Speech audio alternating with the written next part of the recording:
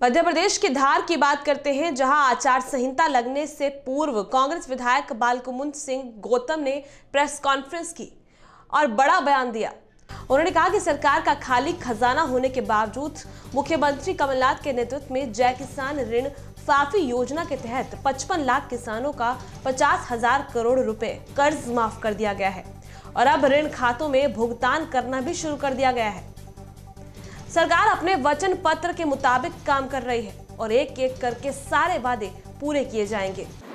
इसके उपरांत भी देखा देखा है आपने, कमलनाथ जी की सरकार ने खर्चों पे पूरी पाबंदी लगा रखी है और फिर भी नहीं होने के बावजूद भी, यही बहुत बड़ी बात है कि खजाना खाली होने के बावजूद भी कमलनाथ जी, कांग्रेस की सरकार कर्जे माफ़ कर रही है और सैलरी भी सब दे ही रही है।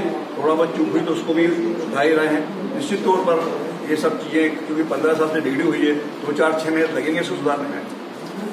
जो उनके भ्रष्ट अधिकारी और कर्मचारी यहाँ जमे हुए थे उनमें वो कचरा ज़रूर था। कम हुआ हो इसी बात को लेकर बार बार वो आरोप प्रत्यारोप की बात आती है कि लेन देन हुआ है किसी ने प्रेशर डलवा दिया है। प्रेशर हो सकता लेकिन कम हुआ हो इसी बात को लेकर बार बार वो आरोप प्रत्यारोप की बात आती है कि लेन देन हुआ है किसी ने प्रेशर डलवा दिया है। प्रेशर हो सकता ले हाँ, कल किसी राष्ट्रीय डर में बात हुई थी। तो लगता है कि कल 11 तारीख को एक दस बारह नौ प्रेस जारी हो सकती है।